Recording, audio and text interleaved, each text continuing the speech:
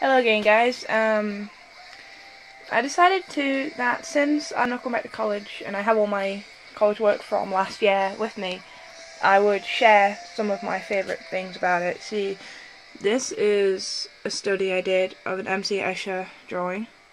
I love MC Escher because like graphical, the, the detail in his in his work is amazing. And yeah, so that's that. Um, I don't know how well this one will show up. This is a, a, drawing we did when we visited the art gallery. Well, one of the art galleries. I don't really think it's going to show very well. No, I don't think it will. That's a fish. Uh, this is the one I actually want to show on this page. It is an elephant. People who know me know I love elephants. So, yay, elephant.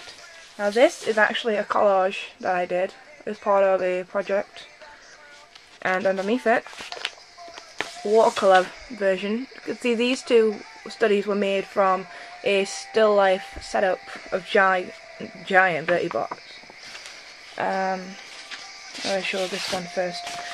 This these are the designs that I came up with from from the, the from those drawings and from the still life. We had to combine it with music, and this is what I came up with.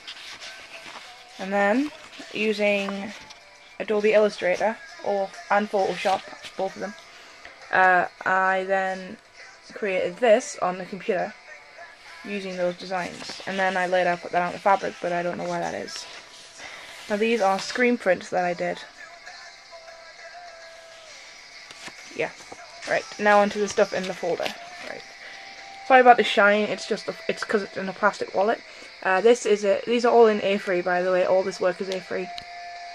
Um, sorry about the shakiness. My hand's a bit weird today. Uh, this is a Queen playing card I made, um, inspired by MC Escher. I can turn the page, that would be very useful. Now here is another study of an MC Escher drawing.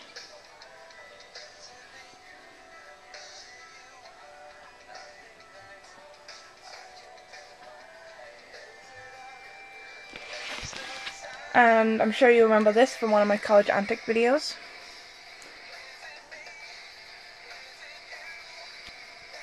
A free poster advertising Newcastle with my little faceless people. um, this is the famous banana fish. Anyone from college will remember this, and it was hysterical because we had to sculpt it out of clay, and mine ended up looking like a dildo. So yeah, note, note to everybody, never try to make a banana fish out of uh, modelling clay. And this is a pencil study of another still life setup for the playing card project. Um, this is got a, a, water guardian or something. It's um, it's, it's a drawing of uh, a statue along the quayside on Newcastle side of of the river, well, the lake, whatever you want to call it. I call it water. this is water, an A3 watercolour painting of another still life setup. Now the, the bag is my personal favourite because it just looks awesome.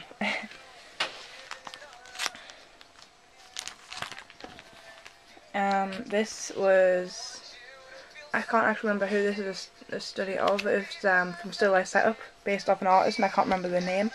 Uh, if anyone from class can remember that, then you know, leave it below. Uh, this is an apple done with pastels. Again, sorry about the shakiness. I'm not exactly in the best of non-shakiness right now. that made no sense. Uh, here is a pastel version of that still life. And here is a collage of the still life based off the artist whose name I still can't remember. I think that's that's it for that. That's my favourite college work that I have. Um, this isn't college work, these are just cute.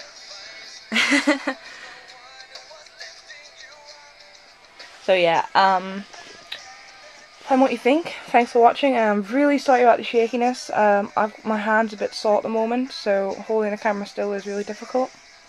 So yeah, um, leave a comment, thumbs up, you know, the rest. uh, yeah. Stay tuned for another video soon. Bye.